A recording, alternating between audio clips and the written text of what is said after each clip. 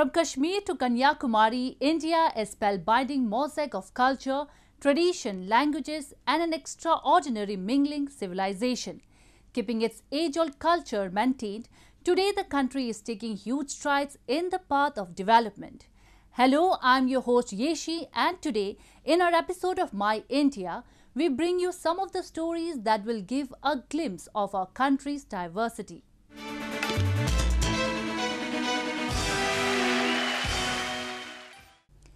As every region in India follows a different culture, so the traditions of New Year's Day celebrations also vary. So today, we take you to get immersed in the festivities of different New Years, which are generally celebrated at the time of harvesting of crops and is observed with different names in different states. The arrival of spring not only brings with it a season of merriment and joy, but also a fresh bundle of traditions and cultural values. From Kashmir to Kanyakumari, various communities and cultural groups mark the beginning of a new year, which is celebrated in different names across the country. In Assam, it is observed as Bohag Bihu or Rongali Bihu, whose merriment goes on for seven days. Assamese visit their friends and families and celebrate it with feasts, music, and dancing. This year, too, the festival was observed with much enthusiasm across Assam. Decked up in traditional attires, young men and women performed traditional Bihu dance to mark the cultural extravaganza. इस बार हम लोग पूरे जोश से ये बिहू करने वाले हैं सेलिब्रेट करने वाले हैं। बहुत ही अच्छा लग रहा है और जैसे कि यहाँ पे आप देख ही रहे होंगे कि किस तरह से हम लोग यहाँ पे प्रैक्टिस कर रहे हैं और कितने जोश से हम लोग ये डांस कर रहे हैं जो कि हम बचपन से करते आ रहे हैं। Gudi Parva was also observed in the state of Maharashtra, Gujarat, and Goa. To mark the traditional New Year of Marathi and Konkani Hindus. It is celebrated on the first day of Chaitra, also known as Chaitra Shukla Pratipada, which is the first month of the year. During the occasion, a special Gudi flag garlanded with flowers, mango, and neem leaves, topped with upturned silver or bronze pot is hosted outside every house in a window, terrace or a high place so that everybody can see it. It is believed that on this day, Hindu god Brahma created time and universe and therefore the Gudi flag is also regarded as the Brahma's flag. हम सब परिवार इकट्ठा होके मज़े में त्यौहार मनाते। हैं गुड़ी हमारे नई, नया वर्ष का गुड़ी पड़वा त्यौहार बड़ा धूमधाम से चलता है। महाराष्ट्र के अंदर, नासिक के अंदर बड़े धूमधाम से हम त्यौहार मनाते। हैं In Karnataka, people visited the temples to mark the New Year's Day, which is celebrated by the name of Yugadi. Similar scenes were also witnessed in the Chennai city of Tamil Nadu, where people visited the temple of Sri Venkateshwar Swami to celebrate Puthandu, which is the first day of the year on Tamil calendar and is observed on the next day of Yugadi. All the possible arrangements were done by the temple authorities, enabling devotees to have the blessings of God without any hassle. We wish all the people of India and Bhaktagara of Venkateswara Swami a happy new year. Because of the Telugu New Year today and Tamil New Year tomorrow, we have organized all the possible arrangements. And uh, morning 9 to 10:30 we have Asthanam, and tomorrow also we have the same time. All all uh, bhaktars are requested to come and have the blessings of Lord Venkateswara. Namo Venkateshaya. One festival known by different names and celebrated in different ways across the country showcases the beauty of India and its diverse culture and traditions. It is said that humanity is the virtue that stands above all religions and caste. Examples of citizens imbibing this virtue can be found at every nook and corner of the nation. One among them are the volunteers of a Mumbai based NGO who have been distributing free food to the needy amid the pandemic. Feeding a hungry person is nothing less than a virtue. With the coronavirus pandemic putting up many challenges in front of the authorities, feeding the hungry and needy remains a tough one. Extending a helping hand in such a situation is a Mumbai based NGO Khana Chahiye that has stepped up to distribute free food packets to the needy, regardless of their religion and caste. We started uh, uh, during last year's initial lockdown, and uh, we've been uh, working to eliminate hunger in Mumbai. Uh, during the lockdown and, of course, the pandemic, uh, a lot of people's wages have been paused. People are not being able to earn their livelihood. And uh, so we've started uh, by distributing meals for the last three days now. And I think we'll continue continue this till as long as the situation demands such a thing. The Khana Chahiye Foundation is currently distributing food packets at the Khar area of Mumbai city. Founded by Ruben Mascarenhas and Neeti Goyal, the NGO has around 200 volunteers that have been working tirelessly to provide food to the hungry amid the pandemic in all corners of Mumbai.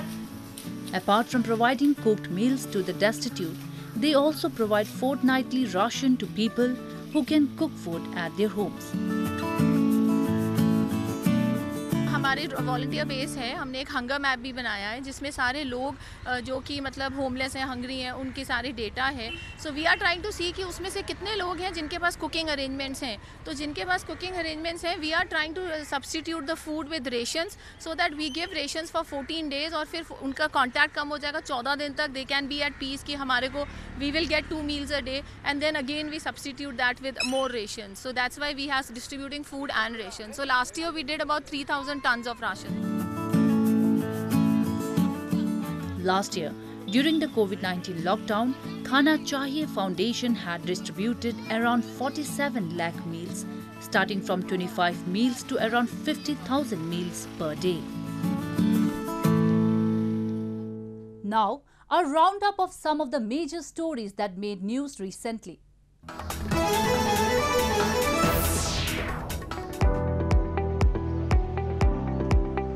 A five day long cocoon buyers and sellers meet come exhibition was held at Manipur's capital Imphal to give boost to state's sericulture industry.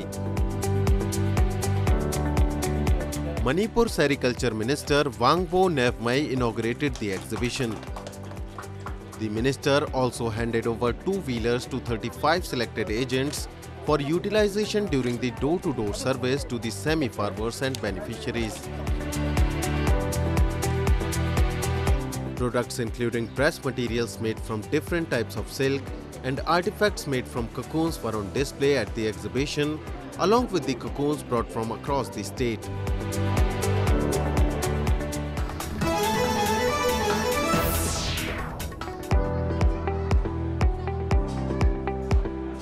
A medical camp was recently organized by the Indian Army for the people of Old Town Baramulla in North Kashmir. Named as a healing touch to Awam, the camp was part of a goodwill gesture and in continuation of its commitment towards the welfare of general public. During the camp, a gynecologist, eye surgeon, eye specialist, family physician, general physician, general surgeon, pathologist, medical officers, nursing staff from Rotary Club Pune and Indian Army fraternity were present. जो यहाँ पर ये camp हुआ है तो हम इस camp के लिए पहले ही बहुत दिनों से बेताब थे कि ये कैंप यहाँ पर लग जाए। और आज हमारी बहुत दिनों के बाद ये मनोकामना पूरी हो गई। और जो हमने देखा यहाँ पर एक स्पेशल डॉक्टर साहब साहिबान आए हैं अलग अलग ये है। और ख़ासकर जो यहाँ पर मेडिसन का इन्होंने जो अहतमाम रखा है तो इससे आम आदमी का बहुत फ़ायदा हुआ है। और हम चाहते हैं कि आइंदा भी ये कैंप यहाँ पर लगे, बारामूला में ही नहीं, कि आल वैली में।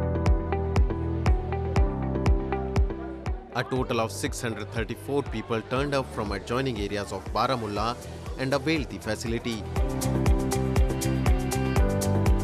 The aim of the camp was an outreach to alleviate the medical problems of the local populace and to build mutual trust, confidence and codependency between the public and the army.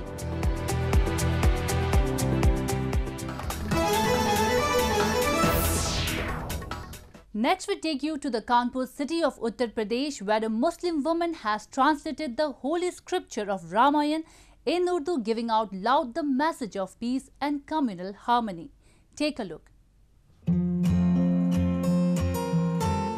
हे राम तेरे नाम को हर नाम पुकारे बंदा ये तेरा पल पल तेरी राह निहारे These lines are not taken from any holy scripture but are the lines from a ghazal composed by Dr. Mahi Talat Siddiqui.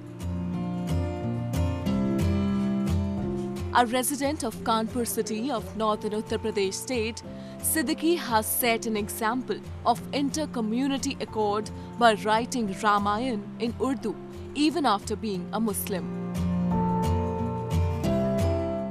अवसर मिला कि मैं इसको उर्दू भाषा में लाऊं और सबके सामने ये चीज़ आए और कैसे रामायण एक पूरी राम कथा जो है एक अच्छी ज़िंदगी जीने के उदाहरणों से भरी हुई है ये आम लोग भी समझें जो इस कम्युनिटी से बिलोंग नहीं करते हैं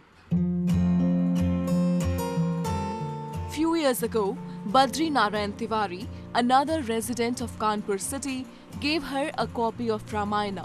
After reading it, Siddiqui decided to write the holy text in Urdu. Putting forth a heartwarming reminder of Awadh region's Ganga Jamuni Tehzeeb, Siddiqui, through her endeavors, wanted to highlight the similarities between religions that bind humanity and propagate the teachings of Lord Ram. Siddiqui has put translations of Ramayana in her book Ram Katha or Muslim Sahityakar Samagra so as to help people from two communities get a better understanding of each other's culture.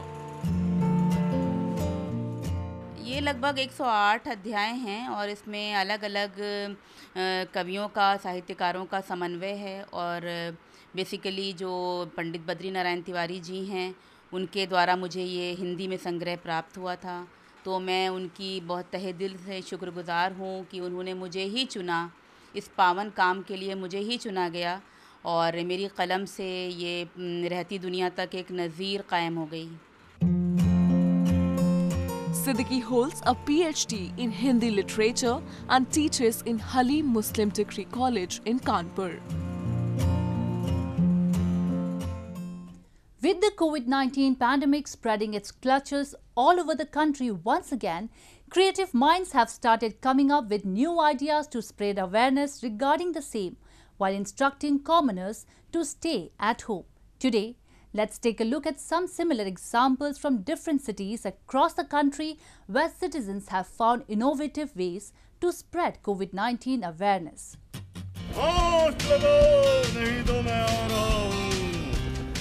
As the number of coronavirus cases is on the rise in the country, local citizens along with the authorities have taken it upon themselves to control the spread. In Moradabad city of Uttar Pradesh, a local artist decided to dress up as Yamraj, the Hindu god of death, and visited various localities in the city to create awareness about the virus and the need to follow social distancing norms. The artist is a member of a local NGO whose other volunteers were also present, along with him appealing to people to wear masks and use sanitizers. मैं यमराज बना हूँ आज और सारे नगरवासियों को सूचित करना चाहता हूँ कि कोरोना बहुत तेज़ी से फैल रहा है, इसलिए मास्क लगाएँ और जो है दो गज की दूरी बनाए रखें इसलिए सभी नगरवासियों से मेरी प्रार्थना है कि मास्क लगाकर जाएं जहां भी जाएं Meanwhile, in Pune city of Maharashtra, a citizen dressed in red coronavirus themed suit was spotted spreading awareness regarding the deadly virus. He is a volunteer from the Center for Youth Development and Activities, which is a non-profit organization which is working to help the needy amid the pandemic. अभी हमारा जो latest campaign चल रहा है, वो corona speaks ये campaign चल रहा है, जिसमें कोरोना एक्चुअली लोगों से बात कर रहा है। उनको बता रहा है कि मैं अभी आया हूँ और मैं खुद रोड पे आ रहा हूँ और आपको बोल रहा हूँ please follow the social distancing and use the mask and हम लोग ज़्यादा से ज़्यादा लोगों में ये डर पैदा करना चाहते हैं कि लोग अभी भी डर नहीं रहे, लोग अभी भी बाहर जा रहे हैं विदाउट रीज़न घूम रहे हैं। तो कहीं ना कहीं ये हमारा कैंपेन इसके लिए मोड़ कर रहा है कि please follow the rules and stay at home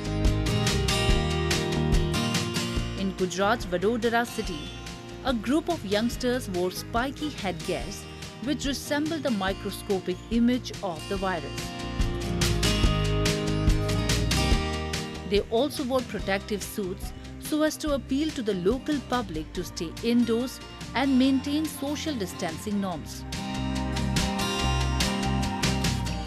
ये मैंने अभी तक कोरोना का थीम पे हेलमेट बनाया हुआ है सभी पहने हुआ है मैंने अभी मेरे सब युवा मित्रों ने भी पीपी किट पहन के ये संदेश सबके हाथ में ये पोस्टर है सबके हाथ में ये संदेश देना चाहते हैं कि आप घर पे ही रहे मास्क पहने सोशल डिस्टेंसिंग का मेंटेन करें Apart from these, artists across cities in the country painted graffiti art on their walls to spread awareness regarding the second wave of the virus. Next, we bring you a few short stories about the recent developments and happenings from around the world in our new edition, World in Focus.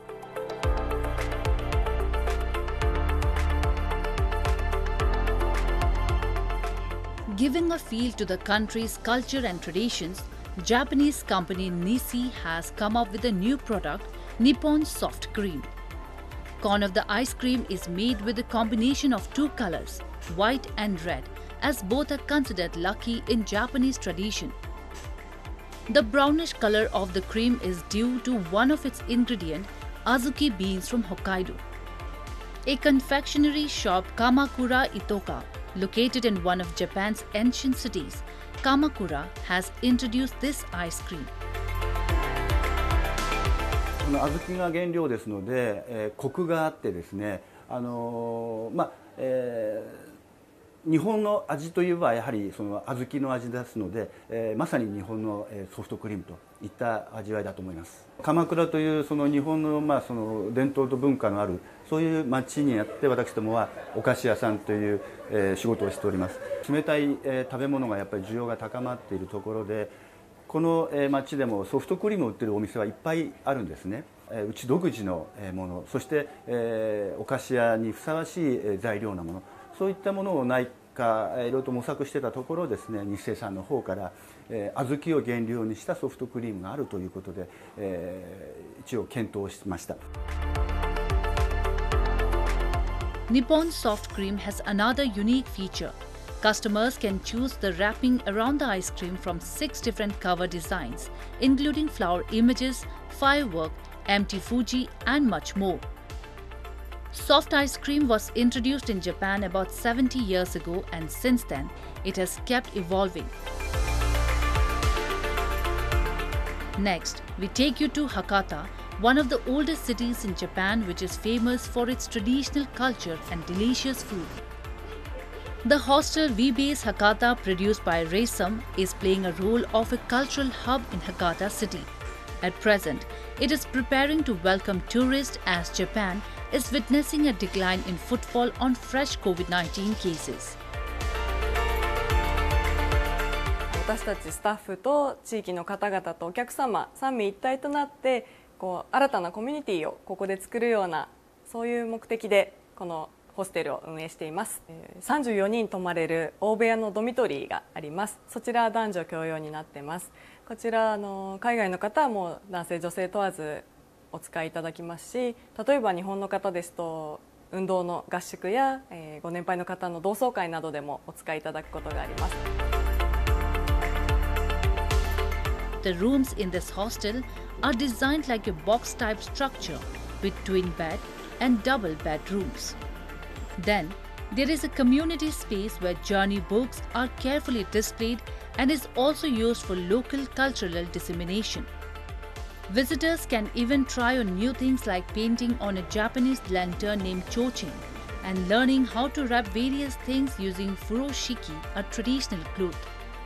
This cultural experience has become an important part of the community space to connect visitors with local people.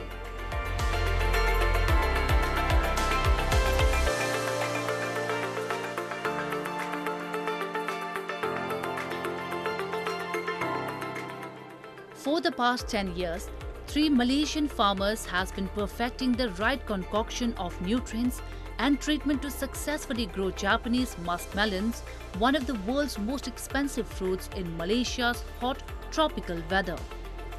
After constant experimentation and trials, the farmers at Mono in Malaysia's administrative capital, Putrajaya, are finally selling their prized luxury fruits of labor on the market.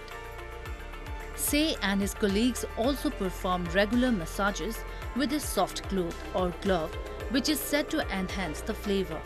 They also play classical music for the plants via speakers in the greenhouses, which they believe stimulates their growth. We have been growing many, different type of melon, including uh, uh, more than 10 types of Japanese melon. We are facing a lot of challenge, like very hot weather, the, the composition of the nutrition, the technical know-how on how to grow this uh, Japanese melon. Until recently, we find a right uh, variety, right nutrients, right where to grow it. Growing muskmelons in the tropics was a challenge for Say and his team, but they learned the cultivation process of Japanese muskmelon through several trips to Japanese farms and pure trial and error.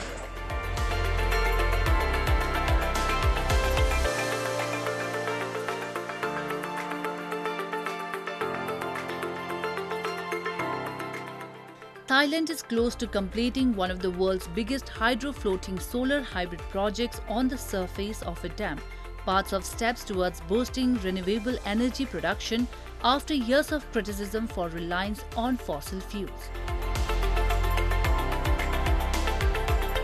Some 144,414 units of solar panels are being installed on a reservoir in the northeast province of Ubon Ratchathani, where workers are completing the last of seven solar farms covering 300 acres of water area. Authorities are aiming to complete the project in June. The state run Electricity Generation Authority of Thailand is touting the pilot project as one of the world's largest hybrid hydro solar power ventures and aims to replicate it at 8 more dams over the next 16 years.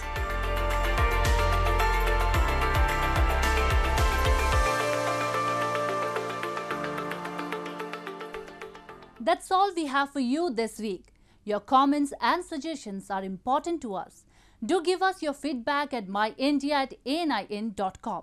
I'm your host Yeshi and it's goodbye from the entire production team.